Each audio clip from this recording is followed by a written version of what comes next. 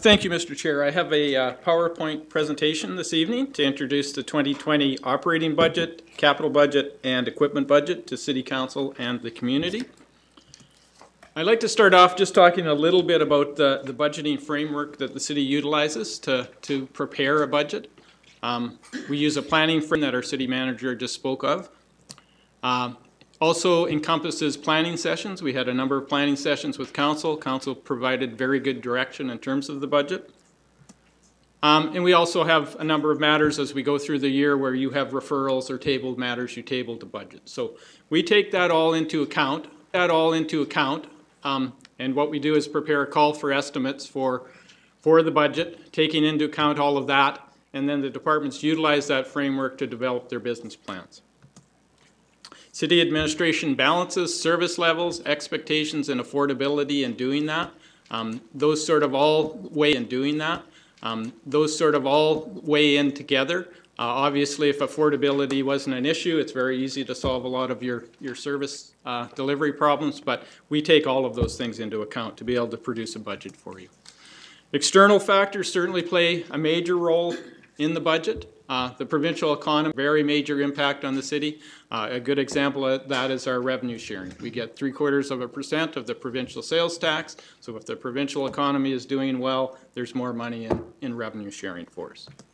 Uh, also, the local economy plays a very, very important role in our budget. Uh, as our economy grows and, and we have more economy grows and, and we have more economic activity, we generate more tax revenues, and we also uh, have more demands in terms of our services and those sorts of things. So it's a, it's a bit of a balancing act, but it certainly has a major impact on the budget.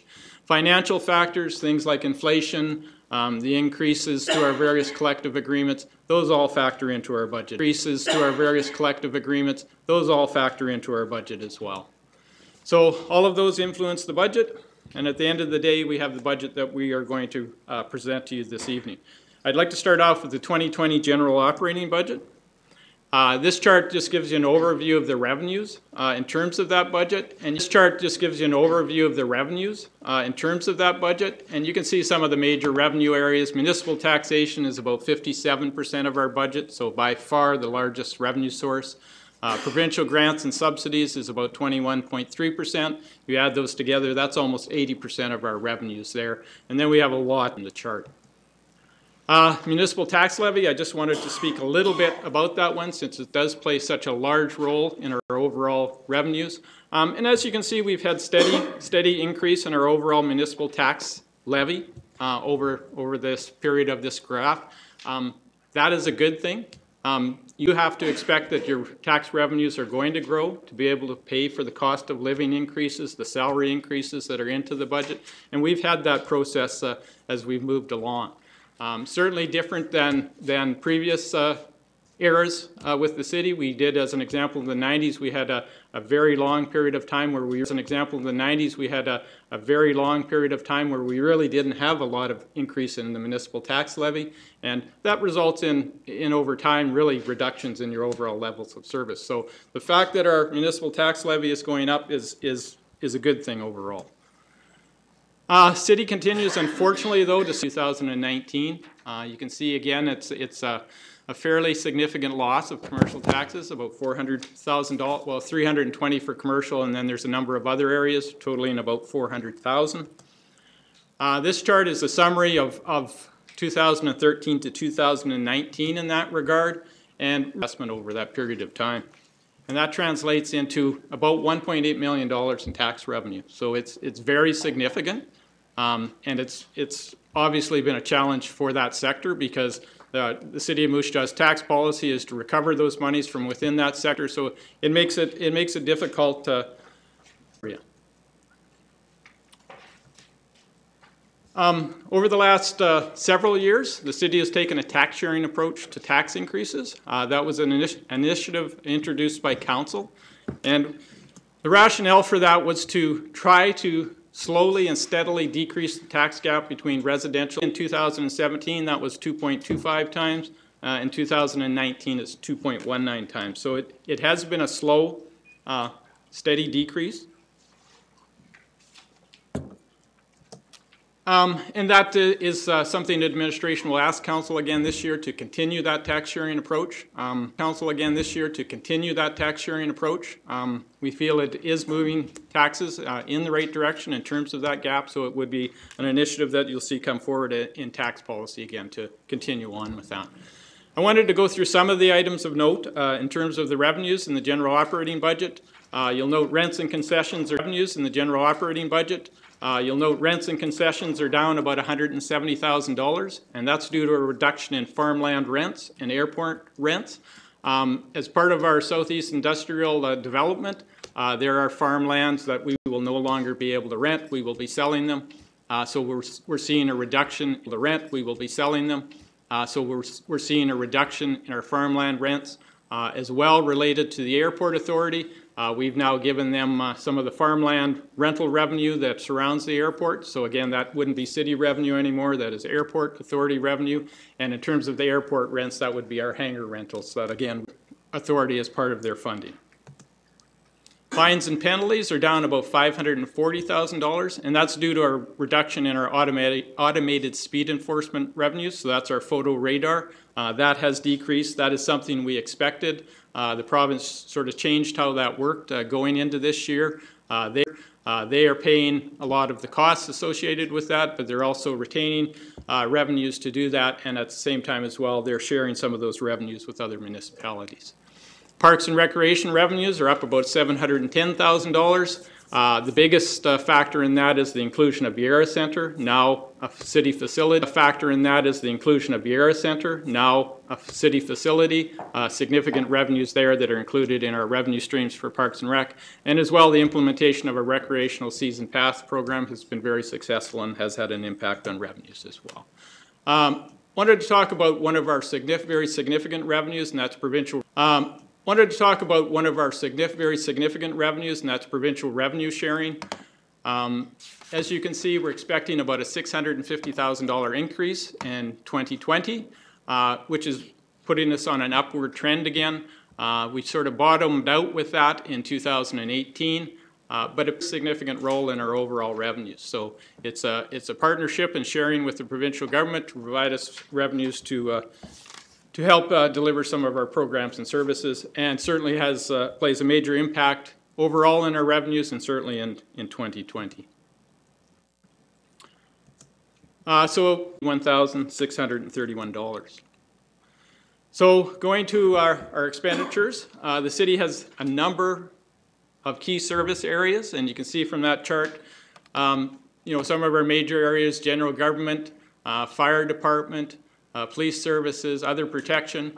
Uh, the fire department, some of our other areas where we have some significant uh, provisions in the budget as well. One area I would highlight is the provisions uh, miscellaneous and debt. The largest portion of that is provisions uh, to other funds. So what we're doing there is appropriating tax dollars for other funds. Almost $4 million of our municipal tax levy uh, goes to either the waterworks, waterworks or the capital expenditure fund. So it's, it's a major contribution to those funds.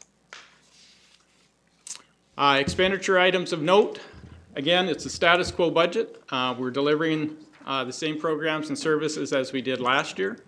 Uh, any new requests are to be a decision of City Council. That's why you see those. Uh, any new requests are to be a decision of City Council. That's why you see those items on your, your agenda. Those are new items, new requests for Council to entertain. And I wanted to talk a, a little bit some, about some of the specific areas where you'll see increases. So our general government areas up about $300,000, areas where you'll see increases. So our general government areas up about $300,000.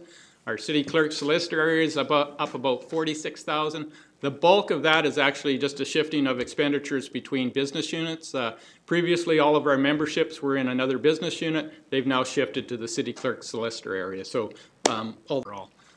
Information technology, uh, up about $109,000. That's additional equipment reserve contributions as well as software maintenance agreements. Uh, most of our software now is on a sort of maintenance agreement basis.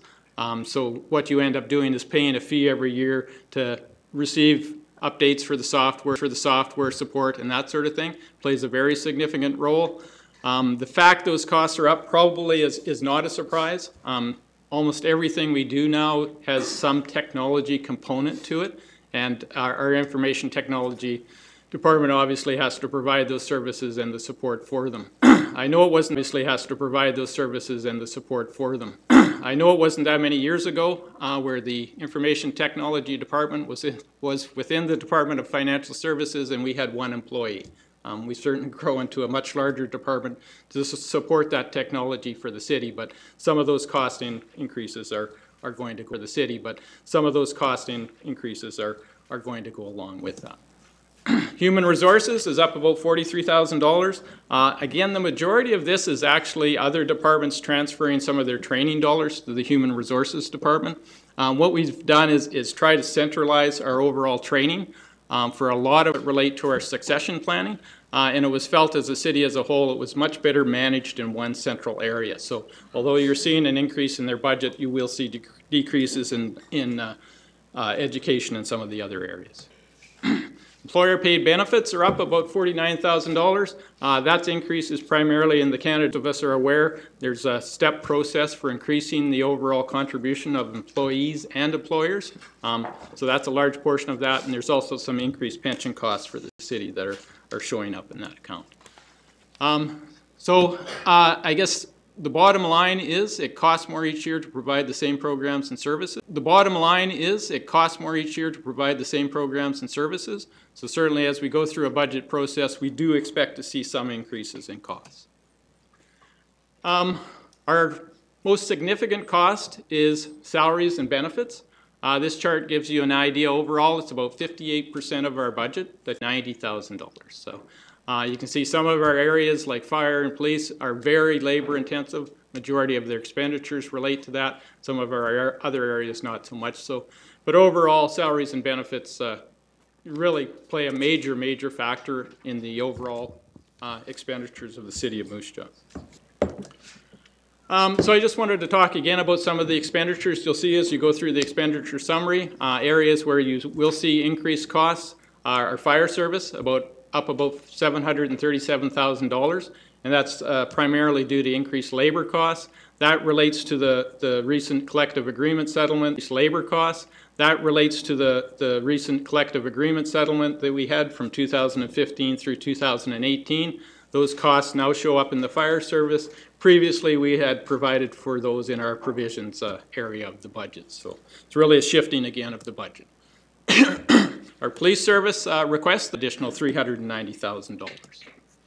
Public Works request, uh, something you probably noticed in the budget, is down significantly, about $870,000. Um, the reason it's down, there's a number of factors. First of all was the implementation of the design team that council recently approved. So those design team salaries are now charged, charged to our capital. Uh, as well, what we did is we allocated our engineering technologists to capital as well. Previously, what we had done is charged those into our operating budget, and then we charged overhead on all of our capital projects. Um, we actually charged about $450,000 in overhead. So what we've done is eliminated that. About $450,000 in overhead. So what we've done is eliminated that. Uh, we want to move towards sort of away from overhead as a percent percentage allocation and go to direct costs because it's much more accurate, much more easy, easier uh, to apply and also for everyone to understand. So, so although it looks like a large shift, uh, there is some to understand. So, so although it looks like a large shift, uh, there is some offset to that. And then the other major one, uh, by far the majority of that public works decrease is in the elimination of automated, automated speed enforcement costs, about $550,000. And what that is, is we used to have to pay uh, all of the costs associated. We don't now. So again, we've taken that out of the budget. Uh, parks and recreation expenditures are up about $196,000. Uh, a lot of that relates to utility costs, uh, water costs, uh, uh, some of our power and, and energy costs. Uh, Yara, uh, Centers now appears in the city budget. you will see that on that summary page. for $714,000 is the budgeted expenditures. Uh, the good news on that, uh, in the revenue side, you'll see revenues of $648,000. So that's a recovery rate of over 90% for that facility. So that's a recovery rate of over 90% for that facility. Um, certainly in terms of our recreation facilities, that would be by far the highest recovery rate, and uh, my understanding in the future is we may even be able to make it a little bit better than that. So, so that's a very positive facility for, for the city and the community, and uh, certainly can uh, can pay their way in terms of their overall costs, which is is is good. Uh, provisions miscellaneous debt is up about sixty-six thousand dollars, and again, some of the things in there are salary provisions. So all of the salary provisions for collective agreements that we have under negotiation, we would have an estimate in there. So you see it in that area. Also, what's important to note in that area is that 1% uh, allocation, allocation of municipal tax revenue to the capital funding for recreation and facilities that the city manager mentioned is also in there. So it overall is an increase. Uh, also part of the operating budget is the transit. Uh, also part of the operating budget is the transit service. Uh, if, if you look at that chart uh, of the overall summary of that department, there are a few trends occurring in there, and we prepared a chart on this uh, next slide. Uh, as you can see, overall our subsidies are approaching 1.5 million. Expenditures are going up. Uh, at the end of the day, our subsidy is up about $245,000. So that's a subsidy increase from 65% of our expenditures to 73%. And our revenues are decreasing uh, in both of those. So uh, it probably highlights for all of us that that's an area and review in terms of, of how we can maybe reverse some of those trends in terms of our revenue decreases um, and also uh, continue to provide that service to the community. Uh, this is a chart we try to prepare every year as a comparison of expenditure growth to CPI. Of expenditure growth to CPI. And as you can see, for 2020, um, we're projecting CPI to be 2% and our overall expenditure uh, growth to be 3.25%. Uh, one of the things you have to remember, though, included in that 3.25% is that 295,000 is in there. Uh, so that's an allocation to capital. If you were to strip that out of there, it actually would reduce it by about 0.6%. So the increase in expenditures just for the operating budget is about 2.65%. Um, one of the things too uh, is we often compare, I guess, we often compare, I guess, the, the growth in expenditures we should have at the city uh, in terms of CPI, and it's not always the best measure of that. And one of the uh, uh, things some communities do, City of Edmonton is a good example, uh, they actually go and produce a municipal CPI, um, and they go and produce a municipal CPI. Um, and I, I've done a little bit of research in terms of that. Their projection of municipal CPI for 2020 is actually about 3.15%. So our overall increase in expenditures is in line with that. Uh, and the reason that's higher than CPI is, is there's fine with that. Uh, and the reason that's higher than CPI is, is there's factors that the city would face that, that aren't in that basket of goods that are in the CPI and, and vice versa. So, so overall, uh, I think we're in line with the cost of living increases in terms of the, the costs uh, to provide those services. Uh, uh, this chart is a little small, but uh, it gives you an overview of our general capital reserve. And uh, as you can see, in 2020, we uh, have a balanced uh, fund at the end of the day. It's about $388,000. Uh, that includes that $295,000 additional uh, that we're recommending for Parks and Recreation. Funding is there, so if you were to approve those projects, we would still have a balance at the end of 2020. Uh, unfortunately, you can see in 2021 we do run into a significant deficit.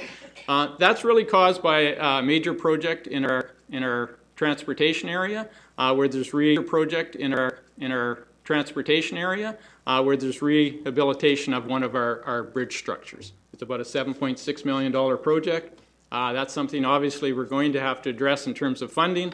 Uh, hope would be there's some federal provincial funding for that type of project, uh, and we'll have to look at other other ways that type of project, uh, and we'll have to look at other other ways of being able to fund that. But that's the major one that throws the overall capital expenditure reserve into a deficit. As you can see, if we didn't have that project in 2021, we'd probably actually be in a small surplus position as well. so. As you can see, in terms of the general capital budget, Uh, If you go back to 2015, you can see our expenditures were significantly lower. Um, The city had sort of taken the approach of uh, doing the expenditures that were necessary, but sort of not looking forward to the future in terms of what needed to be uh, done. Uh, Unfortunately, you can see in our transportation area, uh, a lot of additional dollars have been put into our streets and roads that certainly needed repair and, and fixing. So uh, one of the areas I would draw note to, and one of the reasons there is that additional 1% being proposed for parks and recreation, as you can see, pretty flat across that whole area. There hasn't been a significant, in- pretty flat across that whole area. There hasn't been a significant increase. And uh, really, it's, it's a lot like what we were doing before in terms of our, our streets and roads and, and some of our other areas, is we were doing the sort of minimum expenditures to keep, keep it going and keep it running. Um, but reality is with our facility, time we're going to see those, those costs spike. Uh, no different than we are with distribution mains and those sorts of things. So we're trying to be proactive and identify the need to invest more money in those areas. Our general capital revenues, um, just wanted to, to touch on our major revenues that we have for our general capital budget. Uh, so our funds are about $15.5 million, uh, which is significant. So that is the 10% municipal surcharge that SaskPower uh, levies on all power consumed in Moose Jaw.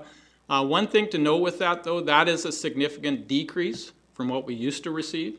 We used to receive also from SaskPower a grant from what we used to receive. We used to receive also from SaskPower a grant in lieu portion, which was about a third of that monies.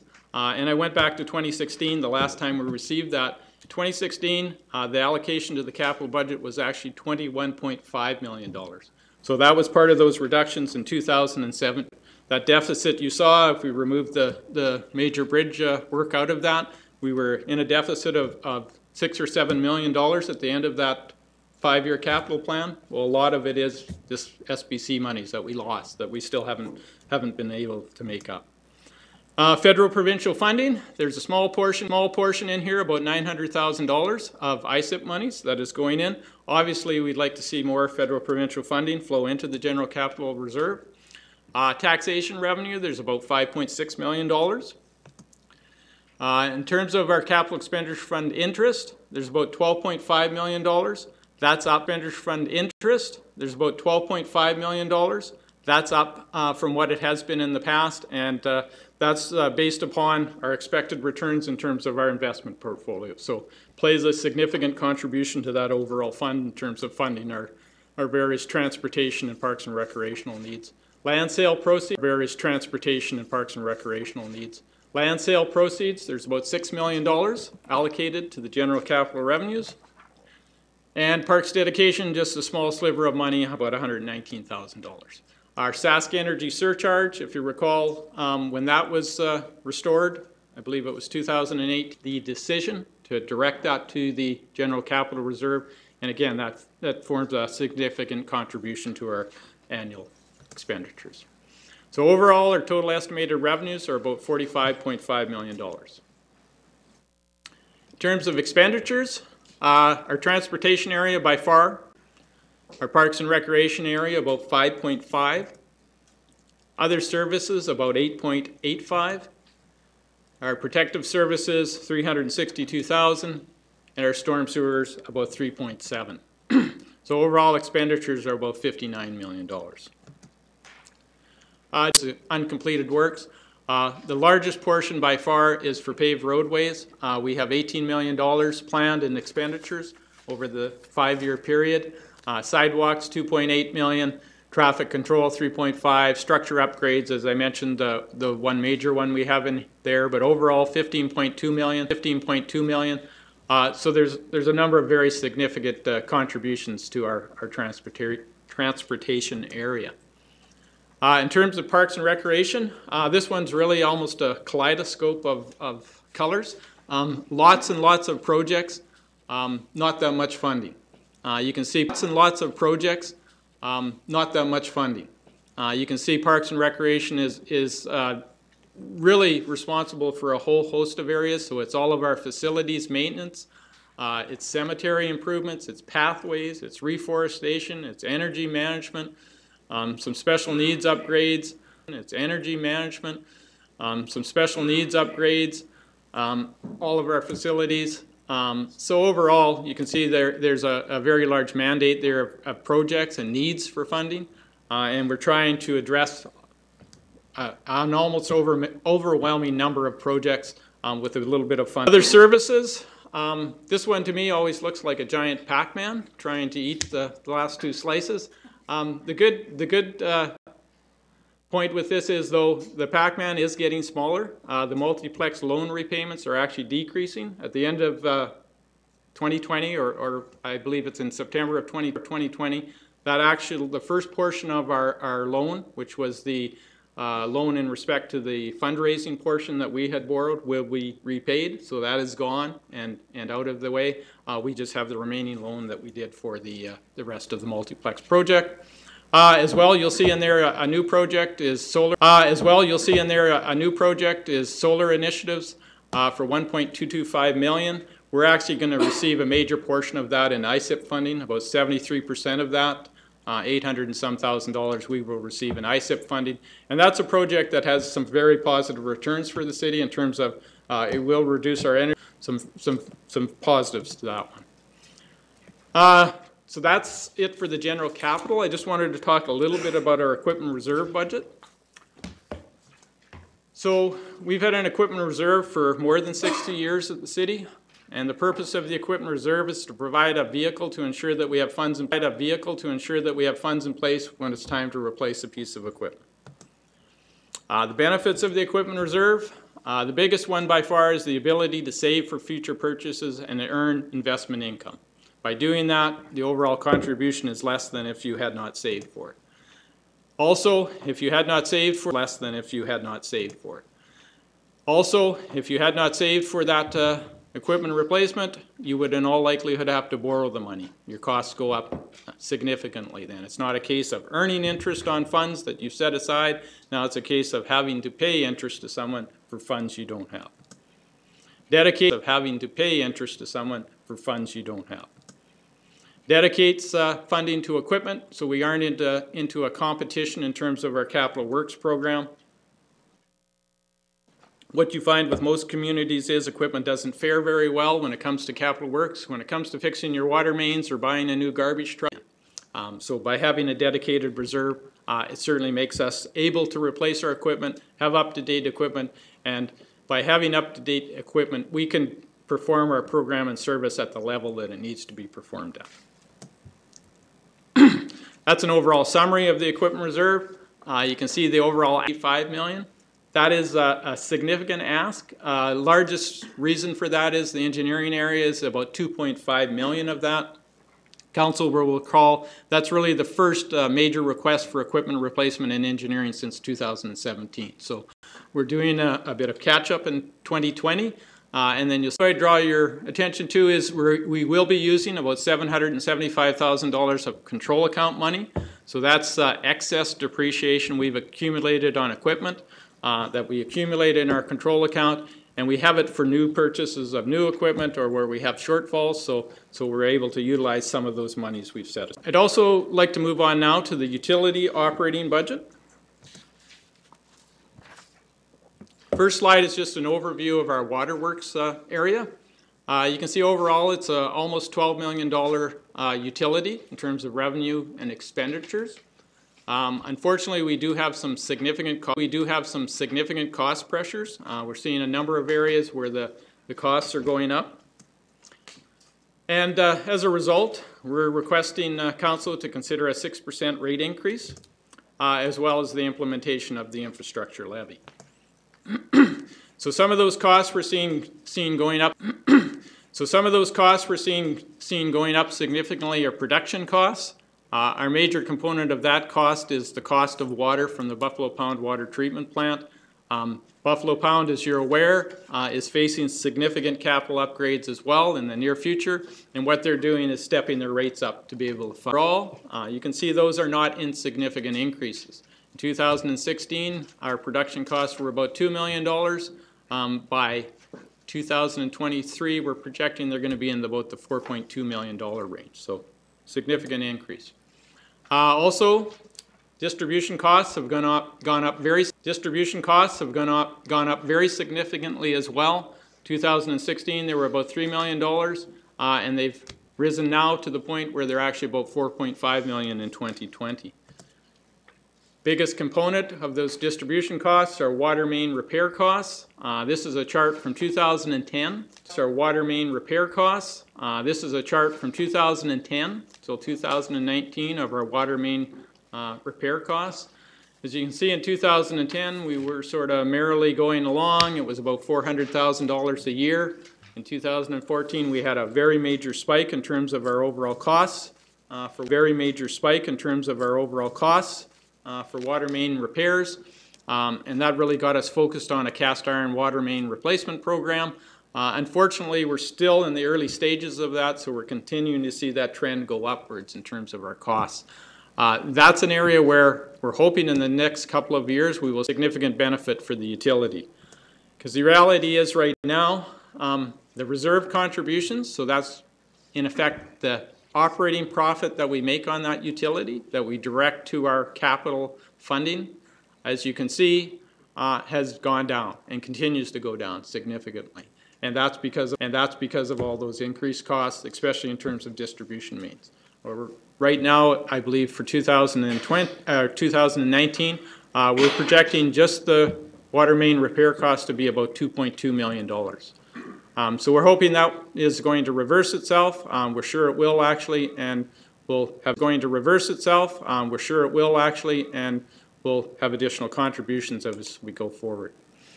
Uh, our, other, our next utility is sanitary sewer. Uh, you can see it's about $8.9 million utility. Um, bit of a different story in terms of it. Uh, its costs are much more stable in terms of uh, $5 million, and we're able to contribute that to our capital needs of the utility. And actually that utility is a self-sustaining utility in that the rates that we're uh, generating are able to fund the capital needs of that utility. Uh, for 2020, uh, we're requesting council to consider a 5% rate increase. Solid waste is our third utility at the city. Uh, it's about a $5 million uh, utility in terms of revenues and expenses. Uh, again, uh, a few years ago, council decided to make that a totally self-funded utility. So we charge landfill fees, we charge for garbage collection, we charge for recycling. For garbage collection, we charge for recycling. So that utility is generating all of the revenue it needs to be able to function and also pay for its capital needs. So it will be able to pay for the capital needs in terms of a landfill replacement from the revenues we're generating. Good news for that utility for 2020 is we don't foresee any need for rate. Last area I wanted to talk a little bit about was just the utility capital. And for the 2020 to 2024 budget, you can see by far the, the largest capital need is in our waterworks area, about $79 million in new spending. Our sanitary sewer area about 29 million, and then our sewer area about 29 million, and then our solid waste area has about 11.3 million, and that's for uh, the landfill. Overall, you add those together, over $119 million in proposed capital expenditures for our three utilities. Uh, just in a little detail on each one of those, the water, a little detail on each one of those, the water utility reserve, so this is really a, a cash flow uh, overview of that utility. Uh, you can see the contributions we're generating each year uh, come from a variety of sources, and I'll, I'll talk about those in a little bit. Uh, we do foresee the need to borrow $15 million we need. And as you can see, there's still a significant amount of capital works that uh, are required to be done in that utility. So in terms of uh, our utility capital budgets, this is a chart very similar again to the other ones I've shown you this evening in terms of our capital expenditures. Uh, you can see into the other ones I've shown you this evening in terms of our capital expenditures. Uh, you can see again in 2015 our capital expenditures were minimal. Uh, they were more of a just uh, keep things running, keep things going sort of uh, mentality. Uh, once we got into the two 2016 period, our, our capital expenditures, 2016 period, our our capital expenditures have gone up significantly. Uh, waterworks continue to be a high demand, uh, as you can see right through that 2016-2020 period. Um, some of the better news is in terms of the other utilities, sanitary sewer has very much leveled off uh, in terms of its needs, and once we look beyond, very much leveled off uh, in terms of its needs, and once we look beyond 2020, they actually start to go down significantly. So, and solid waste, uh, that orange bar you see in there is, is the landfill replacement. Once that occurs, um, we won't have another major uh, capital expenditure for that utility for some time. Um, I just wanted to touch on some of the major revenues of the utility. So over the five-year period, uh, utility revenues are going to generate about $23.5 million. Gas tax funding, we've directed about $10.5 million to the utility. Federal provincial for the programs that are, are underway. Uh, we are also hopeful that we will receive funding for the water reservoir pump house project that we have. That's a $16 million project. If we're successful in that, we'll receive about $11 million in, in federal provincial funding. So very significant. Um, that's accounted for in the overall budget. Municipal taxation structure levy, about $8.4 million, would also impact the utility. Uh, one of the things we foresee uh, with the sanitary sewer utility, uh, once its debt is, is paid in 2023, there's likely the opportunity to amalgamate the waterworks and sanitary sewer utilities into one utility. Um, there waterworks and sanitary sewer utilities into one utility. Um, there appears there will be excess contribution available there that could be directed to waterworks and, and we've denoted $3 million. So that's, that would be $3 million a year. That's actually just the first year of the, the plan would be in 2024. There would be those monies to allocate. Year of the, the plan would be in 2024. There would be those monies to allocate. So it's an ability to merge those utilities and be able to, to have a larger funding source essentially to, to fund some of our issues. Proposed infrastructure levy, I just wanted to, to sort of give to sort of give a bit of a history in terms of this. So city administration is recommending a levy of $100 on the same basis as the hospital levy, and you've had a report uh, that is, is referred that we will deal with later on that. The levy is necessary to provide for a portion of the cast iron program funding. Uh, budget was $5.85 million. Municipal taxation was to make up a little over 1.5 million of that. The local improvement levy was a little over 1.6. The contribution from the utility itself, so the fees that it charges was 2.25 million, and utility savings were about 480,000. We're still million, and utility savings were about 480,000. We're still waiting for the utility savings. Once we do uh, a few more years of replacements, we would expect to see that. So after the referendum on the local improvement levy, there's a shortfall of that 1.608 million because that local improvement levy, we've never identified a source of funding for that. Uh, it was going to be through a local improvement. That obviously disappeared. Uh, so that's still a funding need of that utility. Uh, Council did, uh, I believe in 2018, uh, pass a motion that we would transition the hospital levy into uh, an exact purpose to replace that 1.608 million. this council has uh, further, wanted further information on that and you're considering how you're going to address that need for the utility. But uh, it is a shortfall in that program and overall it's a shortfall in funding for that utility. so in terms of our waterworks utility, so in terms of our waterworks utility, uh, what we're spending our money on, you can see by far the largest component of our expenditures is the cast iron program. In this five-year capital plan, there's almost $40 million dedicated to cast iron water main replacement. Both 2020 and 2021 have some significant uh, programs, $9.9 .9 million each. Uh, we are able to tap into our ICIP federal provincial funding uh, to raise that to that level, so there will be some very significant work done on that in the community. Um, also, a major component uh, of the is debt. Principal and interest repayments. Uh, we already have $30 million in debt for that utility. We're anticipating the need for another $15 million in this capital plan, so it, it starts to become a major portion of the overall costs.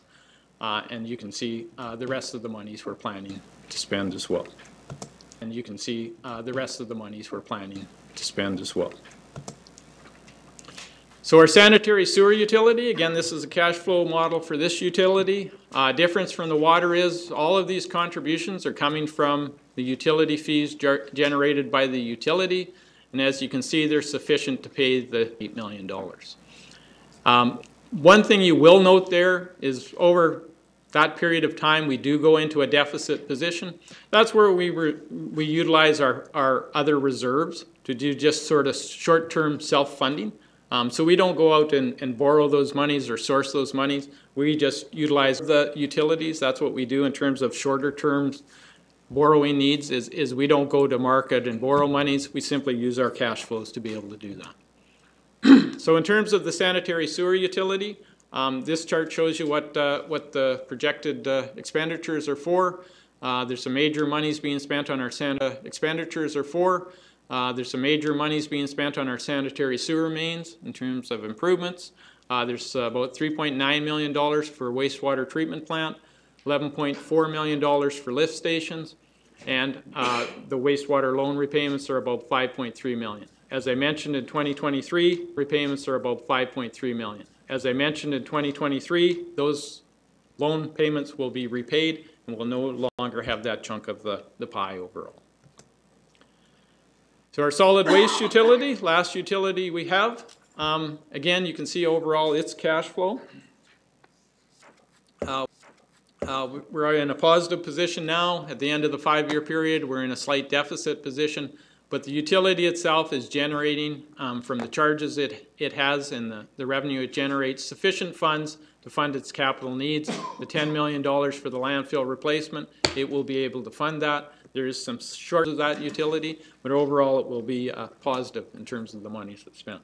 and that's just a chart of, of the overall expenditures for that utility. So, in summary, the resulting budget requests for 2020 are our general operating budget request is just over $50 million. Our general operating budget request is just over $50 million. General capital budget request for new spending for 2020 is 10.4 million.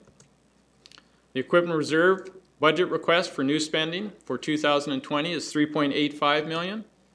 Utility operating budget request $5.8 million. The utility capital budget request for 2020 is 32.5 million. So a total spending request in these preliminary budgets is $122,731,620. So what that means to our average homeowner, uh, a 1.02% municipal tax increase for operating, that's $1.24 a month. A 1% municipal tax increase is being proposed for the general capital budget for contribution to recreation and parks and facilities. Uh, capital needs is a dollar creation and parks and facilities. Uh, capital needs is $1.22 per month. A 6% waterworks utility rate increase is 364 a month. A 5% sanitary sewer utility rate increase is 245 a month. and the infrastructure levy um, we're dollars and sixty-three cents a month. Just sort of framing that in a, in a little bit different uh, manner in terms of the annual impact. So annually, that's $187.56 for the average homeowner. The average homeowner paid in water, $590 in sewer, $200 in solid waste fees, for a total of $2,995. That 187.56 is a 6.26% increase. If we remove the infrastructure levy out of that, it's actually a 3.44% increase for all of those. That is something that had been levied, but regardless, um, that gives you a perspective of, of what we're asking uh, the members of our community to, to fund in terms of our budgets. so next steps in the budget process. Um, as administration, we would ask that you table this process. Um, as administration, we would ask that you table this communication. Uh, it has the finalizing motions for the budget in there, so if you would table those, and then we would lift that from the table at the end of the process. Uh, we would ask as well that you work your way through the new reports um, that are on the agenda this evening. That you work your way through the new reports um, that are on the agenda this evening. Um, there are some reports that have just recently uh, been added to that agenda. We certainly wouldn't expect you to make any decisions on those, but you may want to have the, the people that are here this evening present those. It will at least give you the information on those, but uh, certainly those can be made on those. But uh, certainly those can be made at a later point. And that's true of any of these reports. Uh, Certainly, council doesn't need to, to make a decision. If you're not comfortable at this point, you can certainly table any of them. Uh, There's also a number of referred reports, so those are matters you've referred in terms of infrastructure levy, um, recycling. And then sort of once we get through that, we would see an opportunity for council to request any additional information or presentations. Um, One of the areas we would suggest that, that you probably have a little deeper look at would be the capital budget. And at the next meeting, we would be prepared to have our parks and engineering areas give you an overview, and engineering areas give you an overview of those. That's an area of the budget that does change fairly significantly from year to year, the projects we're doing and that sort of thing. So it probably, uh, if council feels there's value in that, that's something we certainly could provide you at the, the beginning of our next budget meeting. Um, some of our other budget areas in terms of operating budget, um, some of our other budget areas in terms of operating budget, we haven't uh, set out a time to go through a detailed presentation of each area. And the rationale for that is really what's presented in the budget document is a status quo budget. You've seen that four times already. Uh, certainly, if you want to see it again, we can present it. But for the most, uh, certainly, if you want to see it again, we can present it. But for the most part, anything that's new in the budget, you have a report before you. Uh, so obviously, once we get near the end of the process, council as well can make any changes that you feel appropriate. Uh, certainly, there'll be those opportunities there to do that. This report um, that I'm suggesting you table this evening, there's a number of finalizing motions in that, and we would finalize the budget. Uh, we have three meeting times set aside this evening, December 4th and 11th, uh, and we're hopeful that that will be enough time for council to make the decisions they need to make and to have a budget approved by the end of the year. End of the year. Uh, if we do have a budget approved by the end of the year, uh, it's a tremendous bonus to the city in terms of being to get ahead of our overall capital works programs, our operating programs, and deliver them starting January 1st, um, which is, is very positive. So that's the end of my presentation. I just wanted to so that's the end of my presentation. I just wanted to take a moment to thank everybody involved in the budget process. And that ranges from council for the input that we've received uh, in terms of input from council to be able to prepare this budget. Certainly all of the directors uh, have worked very closely with the finance department to prepare the budget, uh, have been to thank uh, the people in finance